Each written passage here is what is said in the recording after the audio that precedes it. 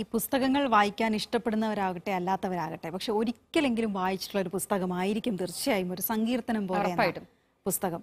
ഒരിക്കൽ ഒരിക്കലും കണ്ടിട്ടില്ലാത്ത ഒരു രാജ്യവും അവിടെ എന്താ പറയുക നടന്ന ഒരു സംഭവത്തെക്കുറിച്ചും എഴുതുക. അത് അങ്ങനെ എഴുതുന്നത് തന്നെ വായനക്കാർക്ക് ഏറെ പ്രിയങ്കരമാവുക.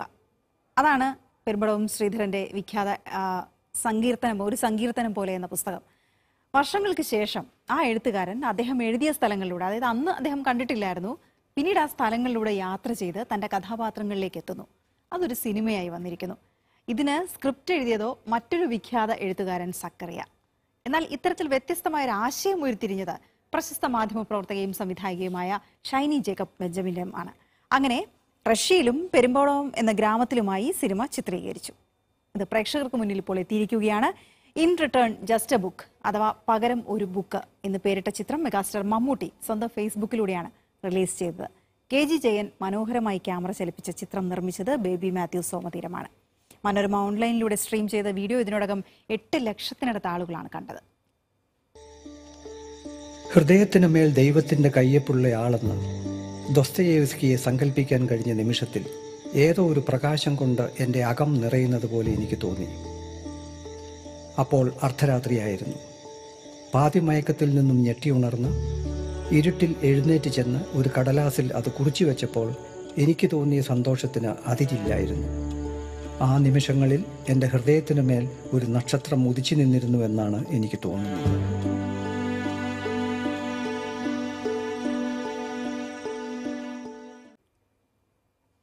വലിയ സന്തോഷമല്ലേ? തീർച്ചയായിട്ടും. അതിക്കൊണ്ട് ആ എഴുതി വെച്ച ആ വാക്കുകളുണ്ടല്ലോ. നമ്മൾ വായിച്ചത് അദ്ദേഹത്തിന്റെ ശബ്ദത്തിലൂടെ കേട്ടപ്പോൾ മറ്റൊരു.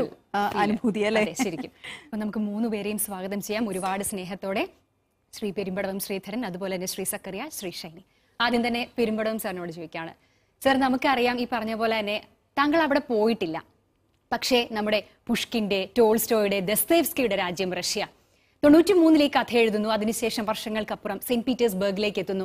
ദസ്തേവ്സ്കിയുടെ നിശ്വാസങ്ങൾ പോലും എത്തിയ ഒരു തെരുവിലൂടെ ചെല്ലുന്നു. അവിടെ കൂടെ പോകുമ്പോൾ നമുക്കറിയാം താങ്കൾ എഴുതിയ കഥയിലെ ആ കഥാപാത്രങ്ങൾ അന്നയും ദസ്തേവ്സ്കിയൊക്കെ അവിടെ ചെല്ലുമ്പോൾ തന്നെ താങ്കൾക്ക് അത് ഫീൽ ചെയ്തതാണ് എങ്ങനെയായിരുന്നു ആ അനുഭവം?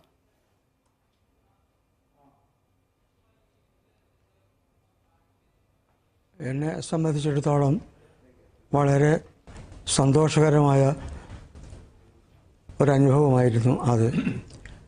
എന്റെ കുട്ടിക്കാലത്ത് പതിനാറോ പതിനേഴോ വയസ്സുള്ളപ്പോഴാണ് ഞാൻ ദസ്തേവ്സ്കിയുടെ കുറ്റവും ശിക്ഷയും വായിക്കുന്നത്. അന്ന് വരെ നമ്മുടെ മലയാളത്തിലെ മഹാപ്രതിഭകളുടെ കഥകളൊക്കെ വായിച്ച് ആ സംസ്കാരവുമായി പരിചയപ്പെട്ടിരുന്ന എനിക്ക് കുറ്റവും ശിക്ഷയും വായിച്ചപ്പോൾ അത് മറ്റൊരു ലോകത്ത് പ്രവേശിക്കുന്നത് പോലെ തോന്നി. ഒരു സമുദ്രകോപം എന്റെ മനസ്സിൽ എനിക്ക് അനുഭവപ്പെട്ടു. പിന്നീട് റഷ്യൻ ക്ലാസിക്കുകൾ മുഴുവൻ വായിച്ച് റഷ്യയെക്കുറിച്ച് പഠിച്ചു. കണ്ടിട്ടില്ലെങ്കിലും കണ്ടടച്ച് നോക്കുമ്പോൾ എനിക്ക് റഷ്യയും സെന്റ് പീറ്റേഴ്സ്ബർഗും മുഴുവൻ കാണാമായിരുന്നു എന്നാണ് എന്റെ ഒരു അനുഭവബോധം. ആ ബോധത്തിൽ നിന്നുകൊണ്ടാണ് ഇങ്ങനെ ഒരു നോവൽ എഴുതണമെന്ന് ഒരിക്കലും ആലോചിച്ചിരുന്നതല്ല. ഓർക്കാപ്പുറത്ത് വഴിയിൽ തെന്നി വീഴുന്നത് പോലെയാണ് ഞാൻ നോവൽ എഴുതാൻ തുടങ്ങിയതെന്ന് ഇപ്പോൾ കൗതുകപൂർവം ഓർമ്മിക്കുന്നു. ആ നോവൽ എഴുതാൻ തുടങ്ങിയപ്പോൾ അധികകാലം എടുത്തില്ല. ഒരു നാലഞ്ച് മാസത്തിനുള്ളിൽ ഈ നോവൽ എഴുതി തീർത്തു. അന്നൊന്നും ഞാൻ വിചാരിച്ചിരുന്നില്ല ഇത് ഇങ്ങനെ ആളുകളുടെ ശ്രദ്ധയിൽപ്പെടുമെന്നും അവർക്ക് ഇഷ്ടപ്പെടുമെന്നും ഞാൻ വിചാരിച്ചിരുന്നില്ല. ഒരുപക്ഷെ അന്ന് മലയാളത്തിൽ വായന മരിക്കുന്നു പുസ്തകം മരിക്കുന്നു എന്നൊക്കെ കേൾക്കുന്ന ഒരു കാലമാണ്. എന്റെ പുസ്തകം ഒരു ആയിരം കോപ്പിയെങ്കിലും വിറ്റഴിയുമോ എന്ന് സംശയമുണ്ടായിരുന്ന ഒരു ഘട്ടത്തിലാണ് ഈ പുസ്തകം വന്നത്. അത് വളരെ സന്തോഷകരമായ ഒരു അനുഭവമായിരുന്നു. അതിനുശേഷമാണ് ഈ ഷൈനി ജാക്ക് ബെഞ്ചമിന്റെ ഒരു ആശയമാണ് ഈ ഡോക്യുഫിക്ഷന്റെ ആധാരം. അപ്പോൾ അതിന് എനിക്ക് ഞാൻ സാഹിത്യത്തിലെ എന്റെ ഗുരുവായി കണക്കാക്കുന്ന സക്രിയ സാറാണ് തിരക്കഥ എഴുതിയത്.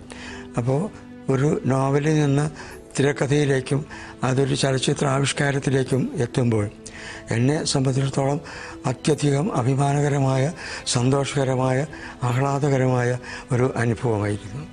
ഈ ആ റഷ്യയിൽ താങ്കൾ സന്ദർശിച്ച സ്ഥലങ്ങളുണ്ടല്ലോ. താങ്കളുടെ നോവലിൽ ഉണ്ടായിരുന്ന ആ ഇടങ്ങളിലൂടെയൊക്കെ വീണ്ടും സഞ്ചരിച്ചതിന് ശേഷം ആ നോവലിലേക്ക് ഒന്ന് മടങ്ങി വരാൻ കഴിഞ്ഞോ? ഒരു ഒരു പുനർവായന താങ്കളുടെ മനസ്സിലൂടെ പോയോ? അപ്പോൾ എന്താണ് താങ്കൾക്ക് അത് എഴുതി വെച്ചതൊക്കെയും അത് വീണ്ടും ഒന്നുകൂടെ കടന്നു പോയപ്പോൾ ഒരു ഫീലിംഗ് എന്തായിരുന്നു? റഷ്യയിൽ പോയി വന്ന് സെന്റ് പീറ്റേഴ്സ് നഗരവും ദസ്തേസ്കയുടെ വീടും മറ്റു പ്രധാനപ്പെട്ട ചില സ്ഥലങ്ങളും ഒക്കെ കണ്ടപ്പോൾ ഈ സെന്റ് പീറ്റേഴ്സ്ബർഗ് എനിക്ക് എന്റെ പെരുമ്പടവും പോലെ തന്നെ പരിചിതമായി തോന്നിയിരുന്നു. അതൊന്നുകൂടി ലോകത്തിലെ ഏറ്റവും മനോഹരമായ നഗരങ്ങളിൽ ഒന്നാണ് സെന്റ് പീറ്റേഴ്സ്ബർഗ് എന്നൊക്കെ നമുക്ക് അറിയാം. അത് കണ്ടു കഴിഞ്ഞപ്പോൾ അത് ഒരു ഇത് അന്യ ഒരു അന്യ നഗരമാണെന്ന് എനിക്ക് തോന്നിയില്ല.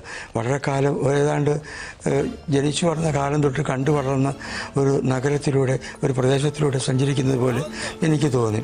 അത് കഴിഞ്ഞ് റഷ്യയിൽ പോയി വന്ന് ഈ നോവലിലേക്ക് വീണ്ടും പ്രവേശിക്കുമ്പോൾ ഒരു വ്യത്യാസവും എനിക്ക് തോന്നിയില്ല. ഞാൻ കണ്ടതുപോലെയൊക്കെ തന്നെയായിരുന്നു സെന്റ് പീറ്റേഴ്സ്ബർഗ്. ഒരു വീണ്ടും ഒരു കാഴ്ച നമ്മൾ കണ്ടിട്ടുള്ള ഏറ്റവും പ്രിയപ്പെട്ട ഒരു നഗരത്തിലൂടെ വീണ്ടും കടന്നു പോകുന്നു എന്നൊരു അനുഭവമായിരുന്നു എനിക്ക് ഈ നോവലിലേക്ക് തിരിച്ചു വരുമ്പോൾ തോന്നിയത്. ഇനി ഞാനിന്ന് ശ്രീ സക്കറിയിലേക്ക് പോകട്ടെ. ശ്രീ സക്കറിയ ദസ്തേവിസ്കിയെ കുറിച്ച് എഴുതിയ ഒരു ഒരാൾ അദ്ദേഹത്തിന്റെ പുസ്തകം. അതിനെക്കുറിച്ച് വീണ്ടും എഴുതുക. അപ്പോൾ എത്ര പേരിലൂടെയാണ് കടന്നു പോകുന്നത് ആ ഒരു ഒരു രചന എന്നുള്ളതാണ്. അത് എത്രത്തോളം നീതി പുലർത്തി വിജയകരമായി ചെയ്യാൻ കഴിഞ്ഞു എന്നുള്ളതാണ് താങ്കളുടെ ഒരു വിലയിരുത്തൽ. തീർച്ചയായും അത് കണ്ടവർക്ക് അത് കൃത്യമായി മനസ്സിലാകുന്നുണ്ട്. നമുക്ക് നമ്മൾ അതിലൂടെയൊക്കെ കടന്നു പോകുന്നുണ്ട്. ഒരു ഒരു ആത്മസംഘർഷം ഉണ്ടായിരുന്നു? ഇത്രയും പ്രതിഭകളിലൂടെയാണ് കടന്നു പോകേണ്ടത് എന്നുള്ളത് ആ, തീർച്ചയായിട്ടും. കാരണം തിരക്കഥ എഴുതുക എന്ന് പറയുന്നത് തന്നെ ഞാനൊരു തിരക്കഥാകൃത്തല്ല. സാധാരണ ഒരു എഴുത്തുകാരനാണ്. അപ്പോൾ ഒരു തിരക്കഥ എഴുതുക അതും ദസ് ദസ്തയേവ്സ്കിയുടെ ഒരു വളരെ പ്രശസ്തമായ അദ്ദേഹത്തിന്റെ ആ പ്രണയകഥയെ പറ്റി ശ്രീ പെരുപ്പടവം എഴുതിയ കേരളത്തിലെല്ലാം സുപ്രസിദ്ധമായി തീർന്ന ഒരു നോവലിനെ അടിസ്ഥാനമാക്കി ഈ തരത്തിലൊരു ഡോക്യു ഫിക്ഷൻ അതായത് അദ്ദേഹത്തിന്റെ യാത്രയും അങ്ങോട്ടുള്ള യാത്രയും അതിന്റെ ഒപ്പം ഈ നോവലിൽ നിന്നുള്ള അദ്ദേഹത്തിന്റെ നോവലിൽ നിന്നുള്ള രംഗങ്ങളും കൂടി ചേർത്തിട്ട് ഒരു തിരക്കഥ എഴുതുക എന്നുള്ളത് തീർച്ചയായിട്ടും ഒരു വെല്ലുവിളിയായിരുന്നു. പിന്നെ അത് നമുക്ക് ഇന്നത്തെ കാലത്തിനും ഇന്നത്തെ കാണികളുടെ അഭിരുചിക്കുമൊക്കെ അനുസരിച്ചുള്ള രീതിയിലുള്ള നമുക്ക് അത്തരം ഒരു തിരക്കഥ ഉണ്ടാക്കേണ്ടതും ഉണ്ടായിരുന്നല്ലോ അതുകൊണ്ട് തീർച്ചയായിട്ടും അത് അത് വളരെ സൂക്ഷിച്ചും വളരെ ആലോചനാപൂർവവും നമ്മൾ കണ്ടിട്ടുള്ള ഏറ്റവും നല്ല ചിത്രങ്ങളുടെയും ഒക്കെ ഓർമ്മകൾ മനസ്സിൽ വെച്ചുകൊണ്ടും അതിനെ അങ്ങനെ ഏറ്റെടുത്ത് ചെയ്യുക ചെയ്ത്. ഒരു സമയപരിമിതി വെച്ചിട്ടുണ്ടായിരുന്നു. അൻപത് മിനിറ്റിനുള്ളിൽ അത് ഈ ഇതെല്ലാം നമുക്ക് ഈ യാത്രയും ഈ നോവലിൽ ഒരു സങ്കീർത്തനം പോലെയിൽ നിന്നുള്ള നിമിഷങ്ങൾ മുഹൂർത്തങ്ങളുടെ പ്രത്യക്ഷപ്പെടലുകളും എല്ലാം അൻപത് മിനിറ്റിനുള്ളിൽ അവസാനിപ്പിക്കുക എന്നും കൂടി ഒരു വെല്ലുവിളി ഉണ്ടായിരുന്നു. അപ്പോൾ അത് ചേർത്തെടുത്ത് പിന്നെ നമ്മളൊരു ശരിയാകുമായിരിക്കും എന്നൊരു വിശ്വാസം മാത്രമേ ഉള്ളൂ. അത് അത് ഷൈനി ഷൈനിയും ടീമും കൂടി അത് അവിടെ പോയി റഷ്യയിൽ പോയി അത് ഷൂട്ട് ചെയ്ത് വെച്ച് കഴിഞ്ഞപ്പം പെരുമ്പടവും അതിൽ വളരെ സ്വാഭാവികമായിട്ട് അഭിനയിച്ചു കഴിഞ്ഞപ്പോൾ അതുപോലെ തന്നെ ഞങ്ങൾക്ക് വളരെ വളരെ ടാലന്റഡ് ആയിട്ടുള്ള രണ്ട് ആക്ടേഴ്സിനെ ദസ്തവേസ്കിയായിട്ടും അന്നയായിട്ടും അഭിനയിക്കാനും കിട്ടി. അപ്പോൾ അവസാനം വന്നു കഴിഞ്ഞപ്പോൾ ഒരു കുഴപ്പമില്ലാത്ത പടം ഉണ്ടായി എന്നായിരുന്നു എനിക്ക് തോന്നിയത്. ശ്രീ സക്രിയ അതുപോലെ തന്നെ നമുക്കറിയാം ഒരുപാട് ഇന്ന കോൺഫ്ലിക്ട്സ് ഉള്ള ഒരു എഴുത്തുകാരനും കൂടിയാണ് ദസ്തേവ്സ്കി അദ്ദേഹത്തിന്റെ ക്രൈം ആൻഡ് പണിഷ്മെന്റ് ആണെങ്കിലും അതുപോലെ തന്നെ നമുക്ക് നോക്കുകയാണെങ്കിലും കാരബസോ ബ്രദേഴ്സ് ആണെങ്കിലും വായിച്ചു കഴിയുമ്പോൾ നമ്മളെ ഒരുപാട് ഹോണ്ട് ചെയ്യപ്പെടുന്ന പുസ്തകങ്ങളും അതിലെ ക്യാരക്ടേഴ്സും ഒക്കെ അങ്ങനെയാണ് അപ്പൊ ഈ പെരും- പെരുമ്പടം ശ്രീധരന്റെ ശ്രീ പെരുമ്പടം ശ്രീധരന്റെ സങ്കീർത്തനം പോലെയിലാണെങ്കിലും അന്നയും ദസ്തേവ്സ്കിയും തമ്മിലുള്ള പ്രണയം എന്നതിൽ ഉപരി അതായത് ജീവിതത്തിന്റെ ഒടുങ്ങാത്ത ദുരിതങ്ങളുടെ കഥ കൂടി എന്ന രീതിയിൽ കൂടി അത് വായിക്കപ്പെടേണ്ടതല്ലേ? അങ്ങനെയാണ് വാസ്തവത്തിൽ അത് വായിക്കപ്പെടേണ്ടത്. കാരണം അങ്ങനെയും കൂടി അതൊരു പ്രണയകഥയ്ക്ക് അപ്പുറത്ത് ദസ്തേവസ്കി എന്ന എഴുത്തുകാരൻ ആയ മനുഷ്യന്റെ ആന്തരിക സംഘർഷങ്ങൾ പെരുമ്പടവും വളരെ പിന്നെ ഹൃദയസ്പർശിയായിട്ട് അദ്ദേഹത്തിന്റെ നോവലിൽ ചിത്രീകരിച്ചിട്ടുണ്ട്. ഞാനതിനെ പല വിധത്തിൽ അതിനെ എന്റെ തിരക്കഥയിലേക്ക് ഡയറക്റ്റായിട്ട് പെരുമ്പടം എഴുതിയത് ആ വാക്കുകൾ തന്നെ ഉപയോഗിച്ചും അല്ലാതെയും രണ്ട് രണ്ട് തരത്തിലും ഞാൻ ഈ ദസ്തേവസ്കി എന്ന എഴുത്തുകാരന്റെ ഇത്തരത്തിലുള്ള സംഘർഷങ്ങൾ അദ്ദേഹത്തിന്റെ ചൂതുകളി എന്ന് പറയുന്ന ഒബ്സഷനുമായിട്ടുള്ള അദ്ദേഹത്തിന്റെ യുദ്ധം അതായിരുന്നു ചൂതുകളിയായിരുന്നു ഒരുപക്ഷെ അദ്ദേഹത്തിന്റെ ജീവിതത്തെ ഏറ്റവും അധികം മദ്യപാനവും അതുപോലെ തന്നെ ഒരു വലിയ പ്രശ്നമായിരുന്നു. ഇതെല്ലാം ആയിട്ടുള്ള അദ്ദേഹത്തിന്റെ ആ ഒരു പോരാട്ടത്തിന്റെ ഒരു ചരിത്രം കൂടി വാസ്തവത്തിൽ അത് പെരുമ്പടവത്തിന്റെ നോവലിലും വരുന്നുണ്ട് അത് തീർച്ചയായിട്ടും ചിത്രത്തിൽ അത് ഉൾക്കൊള്ളിക്കേണ്ടത് തന്നെയായിരുന്നു. അതല്ലെങ്കിൽ ഇത്തരം ഒരു ചിത്രം പൂർണമാകുകയും അദ്ദേഹത്തിന്റെ ഈ ഒരു വശം അദ്ദേഹത്തിന്റെ സ്ട്രഗിളിന്റെ ജീവിതത്തിന്റെ ഈ ഒരു ഭാഗം അതിൽ ഉണ്ടായില്ലെങ്കിൽ. അപ്പോൾ അതും ഞാൻ വളരെ ശ്രദ്ധാപൂർവം അതിനെയും കൂടി ഉൾക്കൊള്ളിച്ചാണ് ഇത് ചെയ്തത്. അപ്പം ആ രീതിയിൽ ചിലർക്കൊന്നും അത് ഒരു പക്ഷേ ചില ആളുകൾക്ക് ദസ്തവസ്കിയെ ഒരു മദ്യപാനിയായും ചൂതുകളിക്കാരനായും കാണിച്ചത് ഒരുപക്ഷെ ഇഷ്ടപ്പെടാതെ പോയേക്കാം. പക്ഷേ അതായിരുന്നു അദ്ദേഹത്തിന്റെ ജീവിതത്തിന്റെ യാഥാർത്ഥ്യം. പക്ഷേ അദ്ദേഹം അതുമായിട്ട് പോരാടുക തന്നെയാണ് ചെയ്തത് എന്നുള്ളതാണ്. അപ്പം വെറും മദ്യപാനിയായിട്ട് അവസാനിക്കുകയല്ല ചെയ്തത്. പക്ഷേ അതിനെ അതിനോട് അദ്ദേഹം യുദ്ധം ചെയ്ത് മറുവശത്ത് ഇന്ന് ലോകം കണ്ടിട്ടുള്ള ഏറ്റവും മഹാനായ ഒരു എഴുത്തുകാരനായി തീരുക കൂടിയാണ് അദ്ദേഹം ചെയ്തത്. ഓക്കെ ഞാൻ ഈ ഘട്ടത്തിൽ ഒന്ന് നമ്മുടെ സംവിധായികയിലേക്ക് പോവുകയാണ് ശ്രീമതി ഷൈനിയിലേക്ക്. ഷൈനി ശ്രീമതി ഷൈനി എന്ന് ഞാൻ പറയുന്നുണ്ടെങ്കിലും കൂടെയുള്ളവരൊക്കെ ഈ ഷൈനി ചേച്ചി എന്ന് വിളിച്ച് കേട്ടതുകൊണ്ട് എന്റെ വായിലും അങ്ങനെ വരുന്നുള്ളൂ കേട്ടോ. ഞാനും അങ്ങനെ തന്നെ വിളിക്കുകയാണ്. എനിക്ക് ആദ്യം ചോദിക്കാനുള്ള രണ്ട് കാര്യങ്ങൾ എനിക്ക് പ്രധാനമായി അറിയണം ഒന്ന് in return just a book എന്ന് പറയുന്ന ആ ഒരു പേര് ആ പേര് ഇതിന് സ്വീകരിച്ചതിന്റെ കാരണം എന്താണെന്നുള്ളത്. മറ്റൊന്ന് ഈ കുറ്റവും ശിക്ഷയും അന്നയുടെ ഡയറക്കുറിപ്പുകൾ സങ്കീർത്തനം പോലെ ഒപ്പം സക്രിയ സാറിന്റെ തിരക്കഥ ഇതിലൂടെ ഒക്കെ കടന്നു പോകേണ്ടി വരുന്നു. അതെല്ലാം അതുപോലെ തന്നെ നമ്മളെ നമ്മളിലേക്ക് കൊണ്ടുവരേണ്ടതുണ്ട്. വലിയൊരു വെല്ലുവിളിയായിരുന്നില്ലേ? അത് അത് ഏറ്റെടുക്കണം എന്ന് തോന്നിയത് ഏത് ഘട്ടത്തിലാണ്? അത് ആ വഴികളിലൂടെ സഞ്ചരിച്ചതും എങ്ങനെയാണ്? ശരിക്കും റഷ്യൻ കൾച്ചറൽ സെന്ററിന്റെ ഡയറക്ടർ രതീഷ് സി നായരാണ് ഇങ്ങനെ ഒരു ആശയം മുമ്പോട്ട് കൊണ്ടുവരുന്നത്. പെരുമ്പടവം ശ്രീധരൻ സാറിനെ റഷ്യ കാണിക്കുക എന്നുള്ളതിനോടൊപ്പം അതൊരു ഡോക്യുമെന്ററി ആക്കുക എന്നുള്ളതും കൂടെ ആയിരുന്നു. ബേബി മാത്യു സോമതീരമായിരുന്നു എന്റെ പ്രൊഡ്യൂസർ. എല്ലാവരുടെയും കൂടെ ചർച്ചയിൽ സക്രിയ തിരക്കഥ എഴുതാമെന്ന് പറഞ്ഞപ്പോൾ സക്രിയയാണ് അതൊരു ഡോക്യു ഫിക്ഷൻ ആക്കാം എന്നൊരു ഒരു ആശയം മുമ്പോട്ട് വെച്ചത്. സക്രിയയുടെ തിരക്കഥ വായിച്ചു കഴിഞ്ഞപ്പോൾ പിന്നെ എനിക്ക് അതിനകത്ത് വേറൊന്നും രണ്ടാമതൊന്നും കൂടി ആലോചിക്കേണ്ടി പോലും വന്നില്ല. In return just a book എന്നുള്ള പേരും അദ്ദേഹം തന്നെ ഇട്ടതാണ്. എന്നെ സംബന്ധിച്ചിടത്തോളം ഈ മൂന്ന് എഴുത്തുകാർ ഞാൻ വായിച്ചു വളർന്ന ഞാൻ ആരാധിക്കുന്ന മൂന്ന് എഴുത്തുകാരോടൊപ്പം ഉള്ള ഒരു സഞ്ചാരമായിരുന്നു എന്റെത് അപ്പോൾ പെരുമ്പട സാറിന്റെ ബുക്ക് ഞാൻ എത്രയോ മുമ്പേ വായിച്ചതാണ്. അതിനു മുമ്പേ ഞാൻ ഏഴാം ക്ലാസ്സിലോ മറ്റോ പഠിക്കുമ്പോൾ തുടങ്ങിയതാണ് ഡെസ്റ്റേവിസ്കിയുടെ പുസ്തകങ്ങളോടുള്ള വായന. ഈ ഞാൻ ഏറ്റവും കൂടുതൽ ആരാധിക്കുന്ന ഒരു എഴുത്തുകാരനാണ്. അപ്പോൾ റഷ്യയും സെന്റ് പീറ്റേഴ്സ്ബർഗും പെരുമ്പട സാറ് പറയുന്ന പോലെ തന്നെ എന്റെ ഒരു ഒബ്സഷനായിരുന്നു അത് കഴിഞ്ഞിട്ട് ഇങ്ങനെ ഒരു ഒരു ഭാഗ്യം ഭാഗ്യം എന്ന് തന്നെ ഞാൻ അതിനെ പറയും. ഇങ്ങനെ അത് സംവിധാനം ചെയ്യാനുള്ള ഒരു ഭാഗ്യം എനിക്ക് കിട്ടിക്കഴിഞ്ഞപ്പോൾ ഞാനത് വളരെ സന്തോഷപൂർവം സ്വീകരിക്കുകയായിരുന്നു. പകരം ഒരു പുസ്തകം എന്ന് പറഞ്ഞാൽ നമുക്ക് തിരിച്ച് ഞങ്ങളൊരു നോൺ ലീനിയർ ഇതിലാണ് ഞങ്ങൾ പടം സംവിധാനം ചെയ്തത്. ശരിക്കും പെരുമ്പടവ് സാറിന്റെ ഗ്രാമത്തിൽ നിന്ന് ഞങ്ങൾ അവിടെ റഷ്യയിലേക്ക് പോവുകയും റഷ്യയിൽ നിന്ന് തിരിച്ച് ഗ്രാമത്തിലേക്ക് വരികയും അങ്ങനെയായിരുന്നു നമ്മളത് ഇത് ചെയ്തിരുന്നത് സംവിധാനം ചെയ്തിരുന്നത്. അപ്പോൾ പകരം നമുക്ക് റഷ്യയിലും സെന്റ് സെന്റ് പീറ്റേഴ്സ്ബർഗിലും ആരാധകർക്കും ദസ്റ്റോസ്കിയുടെ ആരാധകർക്കും കൊടുക്കാൻ ഈ ഒരു പുസ്തകം മാത്രമായിരുന്നു നമുക്ക് ബാക്കിയുണ്ടായിരുന്നത്. അങ്ങനെയാണ് ആ പേരിലോട്ട് വന്നത്. ശരിക്കും എന്നെ സംബന്ധിച്ചിടത്തോളം വളരെ വളരെ പ്രയാസമേറിയ ഒരു ഒരു വർക്കായിരുന്നു ഇത്. എന്തായാലും അത് എല്ലാവർക്കും വളരെ ഇഷ്ടപ്പെട്ടു എന്നാണ് ഇപ്പോൾ ഇപ്പോഴത്തെ ഒരു ഇത് കേൾക്കുമ്പോൾ അറിയുന്നത്. അങ്ങനെയാണ് ഈ ഇതിനകത്തോട്ട് വന്നത് ഞങ്ങൾ എന്തായാലും ആ ഒരു ഡയറക്ടേഴ്സ് ബ്രില്യൻസ് ഓരോ ഷോട്ടിലും മനസ്സിലാവുന്ന അത് നന്നായി തന്നെ എക്സിക്യൂട്ട് ചെയ്യാൻ എന്തായാലും ശ്രീമതി ഷൈനിക്ക് കഴിഞ്ഞിട്ടുണ്ട് എന്നുള്ളത് നമുക്കത് ഡോക്യു ഫിക്ഷൻ കാണുമ്പോൾ തന്നെ മനസ്സിലാവുന്ന ഒരു കാര്യമാണ്. ഞാൻ പെരുവിടുന്ന സാറിലേക്ക് ഒന്നുകൂടെ പോവാണ്. സാർ ഞാൻ- ഞാൻ വായിച്ചു അതായത് തോരാതെ പെയ്യുന്ന പെരുമഴയിൽ എന്റെ മനസ്സിലെ പച്ചക്കാടുകൾ കത്തിക്കൊണ്ടിരിക്കുന്നു എന്നാണ് താങ്കൾ അത് എഴുതിയപ്പോൾ തന്നെ പറഞ്ഞിട്ടുള്ളത്. അത്രയും തീക്ഷണമായ ഒരു ഫീലിംഗ് ആയിരുന്നു. അത് ആ, പുസ്തകം പിന്നെ ഡോക്യു ഫിക്ഷൻ ആയപ്പോൾ അതെങ്ങനെയായിരുന്നു ഫീൽ ചെയ്തത്? മാത്രമല്ല താങ്കൾ അതിൽ അഭിനയിക്കുക കൂടെ ചെയ്തല്ലോ. ആ ആ വാചകങ്ങൾ അദ്ദേഹം ഇതിൽ ആവർത്തിക്കുന്നുമുണ്ട്.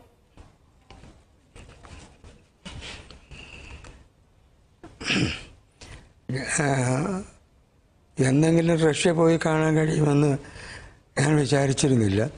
ഒരിക്കൽ തിരുവനന്തപുരത്തൊരു സമ്മേളനത്തിൽ ഒരു സങ്കീർത്തനം പോലെയെക്കുറിച്ചുള്ള ചർച്ചക്കിടയിൽ അത് ഗുപ്തൻ നായർ സാറൊക്കെ ഉണ്ടായിരുന്നു സാർ ആ നോവലിനെ കുറിച്ച് പുകഴ്ത്തി പറഞ്ഞപ്പോൾ ഞാൻ പറഞ്ഞു ഞാൻ റഷ്യ കണ്ടിട്ടില്ല സെന്റ് പീറ്റേഴ്സ്ബർഗ് കണ്ടിട്ടില്ല അതൊക്കെ കാണാതെ മനക്കണ്ടുകൊണ്ട് കണ്ടിട്ടാണ് ഇത് എഴുതിയത് എന്ന് പറഞ്ഞു. അപ്പോൾ ഈ രതീഷ് ശ്രീ നായർ റഷ്യൻ കൾച്ചറൽ സെന്ററിന്റെ ഡയറക്ടർ പറഞ്ഞു അങ്ങനെയാണെങ്കിൽ ഇങ്ങേരെ റഷ്യയിൽ കൊണ്ടുപോയിട്ട് ഇനി കാര്യമുള്ളൂ എന്ന് പറഞ്ഞൊരു ആശയത്തിൽ നിന്നാണിത് വന്നത്. അത് ഒരു ഒരു ഭാഗ്യം പോലെ ഷൈനി പറഞ്ഞതുപോലെ ഒരു ഭാഗ്യം ഒരു ഭാഗ്യം പോലെ തന്നെയാണ് സംഭവിച്ച സംഭവിച്ചത്. സക്രിയ സാറിന്റെ തിരക്കഥ ഈ നോവലിലെ ആത്മാ ഉൾക്കാഴ്ച അദ്ദേഹം അത് വളരെ ഭംഗിയായി വളരെ സജീവമായ ഭാവനിർഭരമായ നിമിഷങ്ങളിലൂടെ അത് ആവിഷ്കരിക്കുകയും ഈ നോവലിനെ മൊത്തം അത് ഉൾക്കൊള്ളുകയും ചെയ്തു. അങ്ങനെ ഒരു മികച്ച തിരക്കഥ ഒരു ഒരു മഹാപ്രതിഭയുടെ കൈവിളയാട്ടത്തിൽ നിന്ന് ഉണ്ടായ ഈ തിരക്കഥ. ഷൈനി അത് വളരെ ഭംഗിയായിട്ട് ചെയ്തു എന്നാണ് വളരെ മനോഹരമായി ചെയ്തു എന്നാണ് എന്റെ അഭിപ്രായം. പിന്നെ ഷൈനിക്ക് ഒരൊറ്റ അബദ്ധമേ ഇത് പറ്റിയുള്ളൂ എന്ന് പിന്നീട് എനിക്ക് തോന്നി. അതിൽ കഥാനായകനായിട്ട് അഭിനയിക്കുന്ന ആളിനെ ഒന്ന് മാറ്റണമായിരുന്നു. അത് അത് മാത്രമേ എനിക്ക് തോന്നാറ് അത്ര മനോഹരമായിരുന്നു. അത് സക്രിയ സാറിന്റെ തിരക്കഥ. ഷൈനയുടെ സംവിധാനം പിന്നെ കെ ജി ജയൻ എന്ന് പറയുന്ന ക്യാമറമാന്റെ ആത്മാർപ്പണം അങ്ങനെ പല സംയോഗങ്ങളും ഇതിനതിന്റെ വിജയത്തിന് പിന്നിലുണ്ട് എന്നാണ് ഞാൻ അറിയുന്നത്. ഇന്നിപ്പോൾ എല്ലാ ആളുകളും അതിനെക്കുറിച്ച് നല്ലത് പറയുമ്പോൾ എന്തെന്നില്ലാത്തൊരു സന്തോഷം എനിക്ക് തോന്നുന്നുണ്ട്. അതിന് സക്രിയ സാറിനോടും ഷൈനിയോടും ഒക്കെ എനിക്ക് നന്ദിയുണ്ട്. ഇതൊക്കെ കണ്ട് അഭിനന്ദിക്കുന്ന ഏഹ്, സകല മലയാളികളോടും എനിക്ക് നന്ദിയുണ്ട്. സർ സാർ തന്നെ പറഞ്ഞു പക്ഷെ സാർ ആ കഥാപാത്രമായി വന്നപ്പോൾ ആ ഡോക്യു ഫിക്ഷന് കൂടുതൽ മിഴിവുണ്ടായി എന്നുള്ളത് നമുക്ക് എല്ലാവർക്കും ഫീൽ ചെയ്ത ഒരു കാര്യം തന്നെയാണ്. പിന്നെ ഒരു കാര്യം കൂടി ചോദിച്ചോട്ടെ ഈ ദസ്തവിസ്കിയുടെ കഥകൾ ഒരു സ്പിരിച്വാലിറ്റി ഉണ്ടെന്ന് പറയപ്പെടാറുണ്ട്. പക്ഷെ അതിന് മതവുമായും ദൈവവുമായും ഒന്നും കണക്ഷൻ ഇല്ലതാനും എങ്ങനെയാണ് താങ്കൾക്ക് അത് ഒരു തരത്തിൽ കണക്ട് ചെയ്യാൻ പറ്റിയത്? അല്ല ഈ നിസ്സീമമായ അന്തസംഘർഷങ്ങളുടെയും ആത്മവ്യതകളുടെയും ഒരു നിർണായകമായ നിമിഷങ്ങളിലൂടെ ആയിരുന്നു അദ്ദേഹത്തിന്റെ ജീവിതം. അപ്പോൾ ഒരു ഒരു ദുരന്തപൂർണമായിരുന്നു എന്ന് വേണമെങ്കിൽ പറയാം. പക്ഷേ ഈ ആത്മസംഘർഷങ്ങളിലൂടെയും ആത്മകഥകളിലൂടെയും കടന്നു പോകുമ്പോൾ ഞാൻ കണ്ടത് അദ്ദേഹത്തിലെ ഒരു വിശുദ്ധനെയാണ്. അദ്ദേഹം അങ്ങനെ തന്നെയാണെന്ന് ആണ് ഞാൻ ഇപ്പോഴും വിശ്വസിക്കുന്നത്. അദ്ദേഹം എന്റെ നോവലിൽ ദസ്തേവിസ്കി പറയുന്ന ഒരു വാക്യം ഞാൻ ഓർമ്മിക്കുന്നു. എനിക്ക് ആരോടെങ്കിലും അസൂയുണ്ടെങ്കിൽ അത് ക്രിസ്തുവിനോട് ആണ് എന്ന്. അത്ര ഒരു ഈ മതാതീതമായ ഒരാത്മീയത അതിനകത്ത് സങ്കല്പിക്കാൻ കഴിഞ്ഞുവെന്നാണ് എനിക്ക് തോന്നുന്നത്. വായനക്കാരും കാഴ്ചക്കാരും അതങ്ങനെ തന്നെ എടുത്തു എന്ന് വിചാരിക്കുന്നു. ശ്രീ സക്കറിയോട് ഒരു ചോദ്യം. താങ്കൾ നേരത്തെ പറഞ്ഞല്ലോ ഈ നാൽപ്പത്തി അഞ്ച് മിനിറ്റിനുള്ളിൽ ഈ പ്രതിഭകളെയും ഈ കൃതികളെയും ഒക്കെ കൊണ്ടുവരേണ്ടതുണ്ടായിരുന്നു. അതൊരു ഒരു വെല്ലുവിളിയായിട്ട് എടുക്കുകയുമായിരുന്നു. അപ്പോൾ എങ്ങനെയാണ് അതിനൊരു റേഷ്യോ തീരുമാനിച്ചത്? അതായത് എത്രത്തോളം ഇതിൽ ദസ്തേവിസ്കി ഉണ്ടാകണം എത്രത്തോളം അന്ന ഉണ്ടാകണം എത്രത്തോളം പെരുമ്പടവും ഉണ്ടാകണം എത്രത്തോളം സങ്കീർത്തനം പോലെ ഉണ്ടാകണം എത്രത്തോളം പെരുമ്പടവും ശ്രീധരനും ഉണ്ടാകണം അതെങ്ങനെയാണ് താങ്കളുടെ മനസ്സിൽ ഒരു ഒരു കാൽക്കുലേഷൻ ആ സമയത്ത് ഉണ്ടായിരുന്നത്? അതിനോട് നീതി പുലർത്തിക്കൊണ്ട് തന്നെയായിരുന്നു ഈ തിരക്കഥ മുമ്പോട്ട് പോയത്. അതെ അതെ തീർച്ചയായിട്ടും. കാരണം അതിനകത്ത് വർക്ക് ചെയ്യുന്നത് ഒരു ഒരു കഥ എഴുത്തുകാരന്റെ എന്താ പറയേണ്ടത്? ഒരു ഒരു കോമൺ സെൻസ് എന്നോ ഇത്തരം കാര്യങ്ങളെ പറ്റിയുള്ള ഒരു ഒരു ഒരു ഇൻസ്റ്റിങ്റ്റീവ് നോളജ് ഉണ്ട്. നമ്മൾ ഈ ടൈം ആൻഡ് സ്പേസ് മാനേജ് ചെയ്യുന്നതിനെ പറ്റി. അത് നമ്മളൊരു ചെറുകഥ എഴുതുമ്പോഴും ചെറുകഥ എന്ന് പറയുന്നത് വളരെ ലിമിറ്റഡ് സ്പേസിൽ നമ്മൾ ചെയ്യുന്ന ഒരു ഒരു ഒരു നോവൽ പോലെയല്ല. ഒരു ആഴ്ചപ്പതിപ്പിന്റെ രണ്ടോ മൂന്നോ പേജുകൾക്കുള്ളിൽ അവസാനിക്കുന്ന ഒരു സാധനമാണല്ലോ ചെറുകഥ. ഞാനൊരു അടിസ്ഥാനപരമായിട്ട് ഞാനൊരു ചെറുകഥാകൃത്താണ്. അപ്പോൾ അതിന്റെ ഒരു ഒരു ചെറുകഥയെ ഒരു പ്രത്യേക ലെൻ ഒരു ദൈർഘ്യത്തിനുള്ളിൽ നിയന്ത്രിക്കുന്നതിന്റെ അത് അതിനകത്ത് സ്പേസ് നിയന്ത്രിക്കണം ടൈം നിയന്ത്രിക്കണം കഥാപാത്രങ്ങളെ ആ ഒരു ഒരു ഒരു അത് ചെയ്ത് ചെയ്തുള്ള ഒരു പരിചയം കൂടിയാണ് വാസ്തവത്തിൽ ഇങ്ങനെ ഒരു കഥ. പെരുമ്പടവത്ത് പെരുമ്പടവത്തിന്റെ ആ ആ പെരുമ്പടവം ഗ്രാമത്തിൽ തുടങ്ങി അദ്ദേഹം പിന്നെ സെയിന്റ് പീറ്റേഴ്സ്ബർഗിലെത്തി. അപ്പോൾ അവിടെ വെച്ച് അപ്പം പെരുമ്പടവൻ ഗ്രാമത്തിൽ ഇത് ആരംഭിക്കുമ്പോൾ അദ്ദേഹത്തിന്റെ ജീവിതവുമായിട്ട് ആരംഭിക്കുമ്പോൾ തന്നെ സെയിന്റ് പീറ്റേഴ്സ്ബർഗിൽ നടക്കാൻ പോകുന്ന കാര്യങ്ങളുടെ പ്രതിധ്വനികൾ ഇങ്ങോട്ട് വന്നെത്തുന്നുണ്ട്. അദ്ദേഹം വെള്ളം കോരുമ്പോഴുമൊക്കെ അന്നയും ഡോസ്റ്റോസ്കി ആയിട്ടുള്ള ചില ചില നിമിഷങ്ങൾ ഇങ്ങനെ പെട്ടെന്ന് വന്ന് വന്ന് വന്നെത്തുന്നുണ്ട്. അങ്ങനെ ഷെനി പറഞ്ഞ പോലെ അതിനെ ഞങ്ങൾ നോൺ ലീനിയറാക്കി മാറ്റുക ചെയ്ത്. അവിടെ ചെന്ന് കഴിഞ്ഞ് പെരുമ്പടവും സെയിന്റ് പീറ്റേഴ്സ്ബർഗിൽ കൂടി ചില കാഴ്ചകൾ കണ്ട് നടക്കുമ്പോഴാണ് ഈ കഥാപാത്രങ്ങളും അവരുടെ മുഹൂർത്തങ്ങളും പെട്ടെന്ന് അങ്ങോട്ട് ആവഹിക്കപ്പെട്ടു വരുന്നത്. അപ്പോൾ അതിന്റെ ഉള്ളിൽ തീർച്ചയായിട്ടും ഈ അന്നയും ഡൊസ്റ്റോയ്സ്കിയും തമ്മിലുള്ള ആ ബന്ധത്തിനെ ത്തിലെ പ്രശ്നങ്ങളും അതിന്റെ ഏറ്റവും മനോഹര മുഹൂർത്തങ്ങളും അതിന്റെ ഉള്ളിൽ കാണിക്കേണ്ടത് എന്റെ ആ ഒരു സെലക്ഷൻ നമ്മൾക്ക് നടത്തേണ്ടി വന്നു. അവർ പ്രണയത്തിലാകുന്ന നിമിഷം അവർ തമ്മിൽ കലഹിക്കുന്ന നിമിഷം അത് മറ്റൊരു തരത്തിലുള്ള ഒരു ഒരു പ്രതിസന്ധിയിലേക്ക് അന്ന ദസ്തോസ്കിയെ അതെ ഉപേക്ഷിച്ച് പോകുന്ന ആ നിമിഷം അവർ ദസ്തവേസ്കി അന്നയുമായിട്ട് പ്രണയം പ്രഖ്യാപിക്കുന്ന നിമിഷം ഇങ്ങനെയുള്ള ചില കൃത്യമായ ആ- ബന്ധത്തിന് ഒരു പൂർണത കൊടുക്കുന്ന ആ കുറച്ച് നിമിഷങ്ങളിലേക്ക് അത് ഇന്നതിനതൊക്കെ ആയിരിക്കണം എന്ന് തീരുമാനിച്ചു കഴിഞ്ഞപ്പം പിന്നെ അതിനെ എവിടെയാണ് ചേർക്കേണ്ടതെന്നുള്ള ഇഷ്യൂ ഉണ്ടായിരുന്നുള്ളൂ. പെരുമ്പടവം തീർച്ചയായിട്ടും അതിന്റെ ഉള്ളിലൂടെ ഒരു ഒരു ഒരു സാക്ഷിയായിട്ട് തന്റെ തന്നെ നോവലിനും അതിന്റെ കഥാപാത്രങ്ങളുടെ ഒരു ഒരു മൗന സാക്ഷിയായിട്ട് അദ്ദേഹം അതിൽ ഓരോ രംഗത്തും. അപ്പോൾ അതൊരു സറിയലായിട്ടുള്ള ഒരു ഒരു പിന്നെ യാഥാർത്ഥ്യവും ഇതും കൂടി കൂട്ടി ഫിക്ഷനും കൂടി കൂട്ടിക്കുഴച്ച ഒരു സാധനമായിട്ട് ഉണ്ടാക്കിയത്. അപ്പോൾ ഇതെല്ലാം അൻപത് മിനിറ്റിനുള്ളിൽ നിർത്തുക എന്ന് പറയുന്നത് നമ്മളുടെ ജോലിയായിരുന്നു. നമ്മളത് എങ്ങനെയെങ്കിലും അത് അതങ്ങനെ ചെയ്തേ പറ്റുള്ളായിരുന്നു. അത് ആ രീതിയിൽ അത് അപ്പോൾ അതിനെ ആ രീതിയിൽ എടുത്തു. പിന്നെ അതിൽ അതിൽ അതിൽ കൂട്ടലും കുറയ്ക്കലും ഒക്കെ വേണ്ടി വരുന്നത് ഡയറക്ടറുമായിട്ടുള്ള സംഭാഷണത്തിലൂടെയും ചർച്ചകളിലൂടെയാണ്. അതിനെ ആ വേണ്ട രീതിയിൽ അതിന്റെ കൃത്യമായ സമയത്തിന്റെ ഒരു രീതിയിലേക്ക് ഒരുക്കിയെടുത്തത് ഒതുക്കിയെടുത്തത്. സക്രിയ സാർ ഞാൻ ഈ ഡോക്യു ഫിക്ഷനുമായി ബന്ധമില്ലാത്ത ഒരു കാര്യം കൂടി ചോദിച്ചോട്ടെ. നമ്മുടെ രാജ്യത്ത് അടിയന്തരാവസ്ഥ പ്രഖ്യാപിച്ചിട്ട് നാൽപ്പത്തി ആറ് വർഷം കഴിഞ്ഞിരിക്കുന്നു. ഈ പറഞ്ഞതുപോലെ കലാകാരന്മാർക്ക് പലർക്കും അപ്രഖ്യാപിത അടിയന്തരാവസ്ഥയാണ് ഇപ്പോൾ നിലനിൽക്കുന്ന ഒരു തോന്നലുണ്ട്. അതായത് എഴുത്താണെങ്കിലും വായനയാണെങ്കിലും നമ്മുടെ സിനിമകളിലാണെങ്കിലും അതിന് മേലിലൊക്കെ ഒരു കടന്നുകയറ്റം ഉണ്ടാവുന്നു എന്നുള്ളൊരു തോന്നൽ. അത് മാത്രമല്ല ഇതെല്ലാം ഓഡിറ്റ് ചെയ്യപ്പെടുന്നു എന്നുള്ളൊരു പൊതുവിൽ ഒരു ചർച്ച ഉണ്ടാവുന്നു. എത്തരത്തിലാണ് കലാകാരന്മാരുടെ സ്വാതന്ത്ര്യത്തെ ഈ കാലഘട്ടത്തിൽ കലാകാരന്മാരുടെ സ്വാതന്ത്ര്യം കടന്നുപോകുന്നത്? അത് ഇവിടെ ഇന്ത്യയിൽ കലാകാരന്മാർക്ക് മേലും ഇത്തരം കാര്യങ്ങളുടെ മേലും എക്കാലത്തും ഒരു ഇത്തരം പ്രശ്നങ്ങൾ ഉണ്ടായിരുന്നു. പക്ഷേ അതിന് കുറച്ചുകൂടി രൂക്ഷമായിട്ടുണ്ട് ഈ സമയത്ത് എന്നുള്ളതാണ്. കാരണം ഇന്ത്യയിൽ പുസ്തകം പുസ്തകം നിരോധിക്കലുകളൊക്കെ എല്ലാ കാലത്തും നടന്നിരുന്നു. പക്ഷേ അതുപോലെയല്ല ഇന്ന് അഭിപ്രായ പ്രകടനത്തെ തന്നെ ചോദ്യം ചെയ്യുന്ന കലാകാരന്മാരുടെ അല്ല മാത്രമല്ല ആരുടെയും സ്വതന്ത്രമായ അഭിപ്രായ പ്രകടനത്തെ ഉടൻ തന്നെ കോടതിയിലും മറ്റുമായിട്ട് ചോദ്യം ചെയ്യപ്പെടുന്ന ഒരു പ്രവണത ഇന്ന് ഉണ്ടായി വന്നിട്ടുണ്ട്.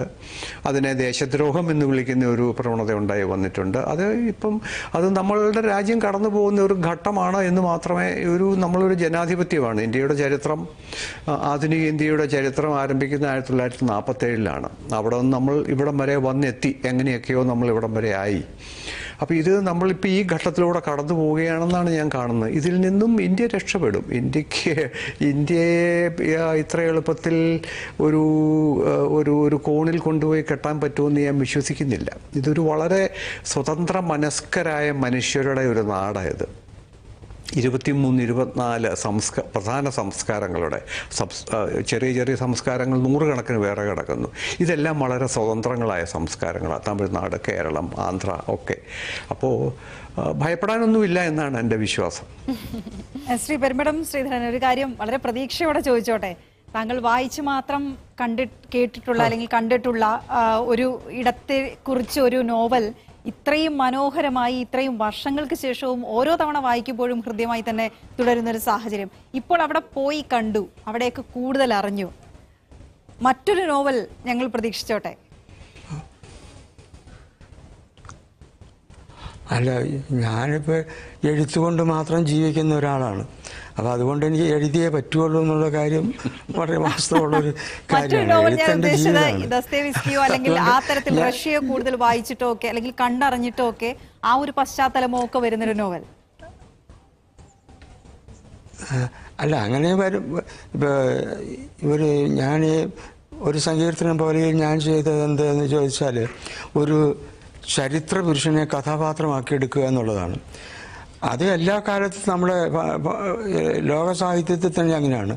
വലിയ ചരിത്ര പുരുഷന്മാരെ ഓരോ രാമായണത്തിൽ അതുപോലെയൊക്കെയുള്ള ഭാരതത്തിൽ ഇങ്ങനെയുള്ള കഥാപാത്രങ്ങളൊക്കെ ആളുകളെ കുറച്ചറിയാവുന്ന ആളുകളെ കഥാപാത്രങ്ങളാക്കി തീർക്കുകയാണ് ചെയ്യുന്നത്. അതുകൊണ്ട് അത്തരം അനുഭവങ്ങൾ വെച്ചുകൊണ്ട് പുതിയ പുതിയ കാഴ്ചപ്പാടിൽ പുതിയ അനുഭവ അനുഭവബോധത്തോടുകൂടി അതിന്റെ ഒരു ഭാവ നിർഭരതയോടുകൂടി എഴുതാൻ കഴിയുക എന്നുള്ളതാണ് എന്റെ ആഗ്രഹം. അതിന് ശ്രമിച്ചുകൊണ്ടിരിക്കുന്നു. എഴുത്ത് തുടർന്നുകൊണ്ടിരിക്കുന്നു. ഓക്കെ. ശ്രീമതി ഷൈനി ഹൃദയത്തിൽ ദൈവത്തിന്റെ കയ്യപ്പുള്ള എഴുത്തുകാരൻ എന്നാണ് ദസ്തേവ്സ്കിയെ കുറിച്ച് പറഞ്ഞത്. എന്തായാലും ഈ ഡോക്യു ഫിക്ഷനിൽ ശ്രീമതി ഷൈനിയുടെ ഒരു കയ്യപ്പ് തന്നെ പതിഞ്ഞിരിക്കുന്നു. അതായത് കട്ട് ചെയ്യാൻ കട്ട് എന്ന് പറയാൻ പറ്റാത്ത വിധത്തിൽ ഞാൻ ഇരുന്നു പോയി. അലൗകിക നിമിഷം എന്നൊക്കെയാണ് ശ്രീമതി ഷൈനി അതിനെ കുറിച്ച് പറഞ്ഞിട്ടുള്ളതെന്ന് അറിയാം. ആ ഡോക്യു ഫിക്ഷൻ കാണുമ്പോൾ നമുക്കത് കൃത്യമായി കമ്മ്യൂണിക്കേറ്റ് ചെയ്യുകയും ചെയ്യുന്നുണ്ട്. അതുപോലെ തന്നെ അന്നയും ദസ്തേവ്സ്കിയും അവതരിപ്പിച്ചവരും. അതുപോലെ ആ ക്രൂവിനെ കുറിച്ച് ഒന്നുകൂടെ ഒന്ന് പറയാമോ?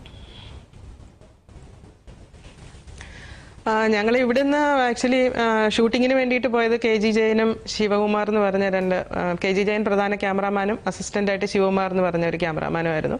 ഞങ്ങൾ മൂന്നുപേരും പെരുമ്പടവ് സാറ് മാത്രമാണ് ഞങ്ങൾ റഷ്യക്ക് പോയത്. അവിടെ ബാക്കിയെല്ലാം അവിടുത്തെ തന്നെ ക്രൂ ആയിരുന്നു.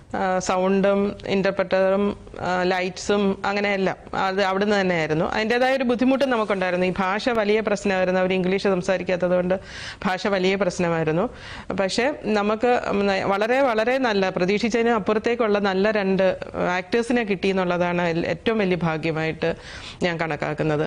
പിന്നെ ഒരു മാസം മുമ്പ് തന്നെ ഞാനും ശ്രീ കെ ജി ജയനും കൂടെ പോയിട്ട് അവിടുത്തെ ലൊക്കേഷൻസുകൾ ലൊക്കേഷൻസ് നോക്കുകയും കോസ്റ്റ്യൂംസ് ഫിക്സ് ചെയ്യുകയും ഒക്കെ ചെയ്തിരുന്ന ചെയ്തിരുന്നുകൊണ്ട് അതിന് നല്ല ഹോംവർക്ക് വേണ്ടി വന്നു. അന്ന് ആ കാലത്ത് തന്നെ കോസ്റ്റ്യൂം കണ്ടുപിടിക്കുക ആ കാലത്തിലെ ആ കാലഘട്ടത്തിലുണ്ടായിരുന്ന പോലത്തെ കെട്ടിടങ്ങളും തെരുവുകളും കണ്ടുപിടിക്കുക.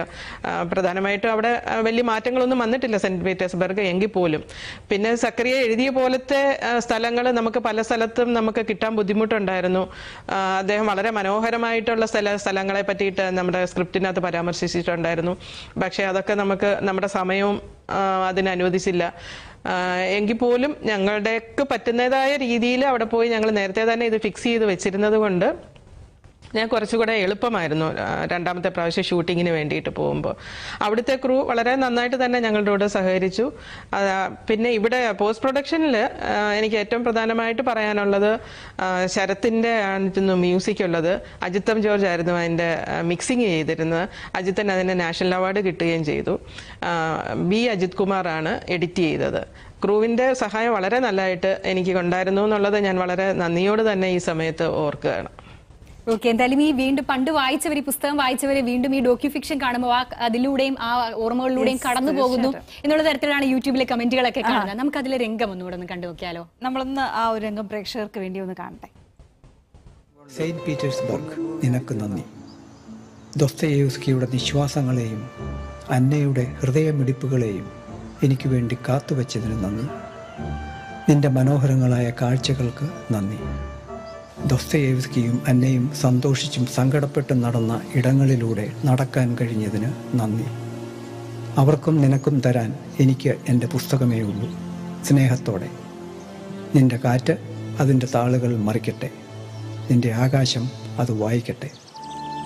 ദൊസ്തയേവ്സ്കിയും അന്നയും അത് കേൾക്കട്ടെ.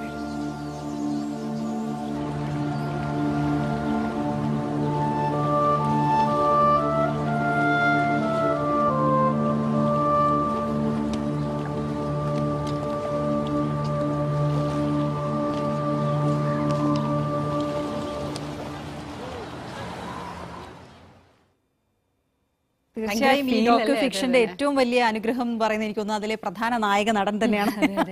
എനിക്ക് തോന്നുന്നു. കാരണം അവസാന രംഗത്തിൽ അദ്ദേഹത്തിന്റെ മനസ്സിൽ ഒരു നോവലിസ്റ്റിന്റെ മനസ്സിലുണ്ടാകുന്ന ആത്മസംഘർഷങ്ങളോ അല്ലെങ്കിൽ ആമോദ തിരത്തലോ ഒക്കെ അദ്ദേഹത്തിന്റെ മുഖത്തുണ്ടായിരുന്നു എന്ന് പറയുന്നത് താങ്കളല്ലാതെ വേറെ ആര് ചെയ്തിരുന്നെങ്കിലും അത് ശരിയാകില്ലായിരുന്നു സക്കറിയ സാറിന്റെ സ്ക്രിപ്റ്റും ശ്രീമതി ഷൈനിയുടെ സംവിധാന മികവും കൂടി ചേർന്നപ്പോൾ in return just a book പകരം ഒരു പുസ്തകം മാത്രം. അതെ. വളരെ മനോഹരമായ ഒരു അനുഭവമായിരുന്നു. മൂന്ന് പേര് നമ്മളോടൊപ്പം ചേർന്നതിൽ വലിയ വളരെ നന്ദി. സന്തോഷം. ഇത്ര രാവിലെ നമ്മോടൊപ്പം ഒരുമിച്ച് വന്ന ഈ ഒരു അനുഭവങ്ങൾ പങ്കുവച്ചതിന് മൂന്ന് പേർക്കും വളരെ നന്ദി. വളരെ നന്ദി. പെരുമ്പടം സാർ സക്കറിയ സാർ അതുപോലെ തന്നെ ശ്രീ ഷൈൻ.